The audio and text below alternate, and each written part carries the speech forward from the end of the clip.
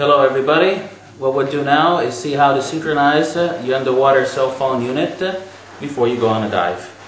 First of all, obviously, uh, make sure that you received everything properly in the packaging.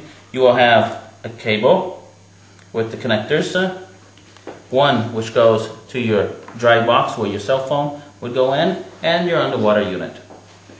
On the cable here, the part, the pins that have to go into your box, if you notice we have this white decal both on the box and both on the two parts of your six pin connector. Make sure that the lines line up because we need to have a guided slot. Therefore, line everything up. Once it's in, rotate it so it snaps in place. Give it a little pull to make sure that everything is connected properly. At this point, you can get your six pin connector, attach the cable to the underwater unit.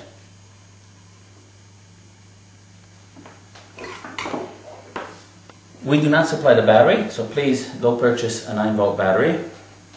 You'll notice that there's a decal inside which tells you which side is the positive and which side is the negative. So line up positive with positive, make it flush, make sure this little tag is sticking out so that way it just makes removing the battery easier when you're done with the unit. At this point, we grab our cell phone, we activate the Bluetooth based on your type of cell phone that you have.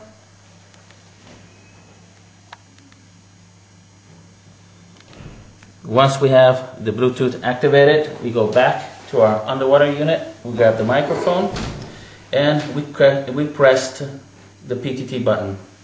You will notice that first of all, after a short while, the red light should turn on.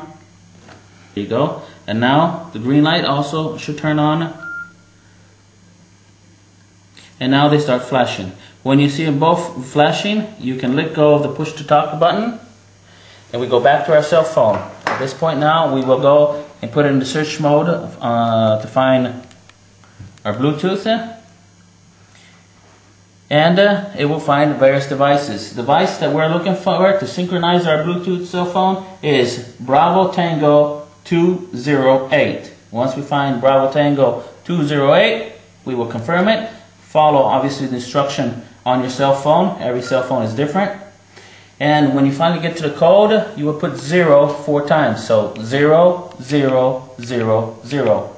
Confirm and you have synchronized your cell phone with the underwater unit. Now that we have everything set up, before we go on our dive, we'd like to make sure that obviously we are able to receive and transmit phone calls.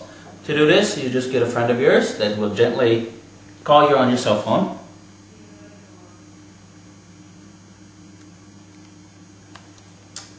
You should hear the phone call coming in the unit. You do not need to wet the contacts or anything. Now that you hear the phone call, to answer, if you wish, uh, just hit the button very briefly and Hello? respond to your friend. Hello, how are you there? I'm Every- fine, thanks, and you? Good, Paul. I'll see you later for dinner. Once you're done with the phone call, again, just a small tap, and you have terminated your phone call. At this point, we are sure and we know that we can receive phone calls. Now that we know that we can uh, receive a phone call, we obviously would like to know if we can also make a phone call.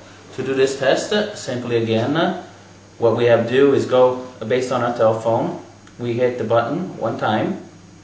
At this point, we will hear a signal, or based on the cell phone, it could say, call who.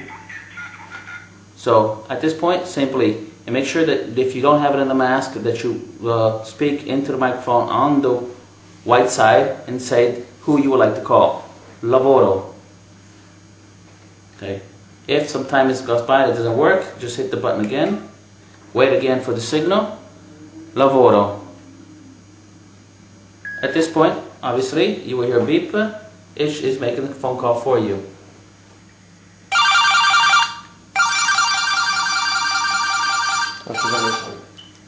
Hello? Hello, Paul. How are you? I'm fine, thanks, you? Well, good. remember the dinner for tonight. Okay, your turn to buy for the beer. This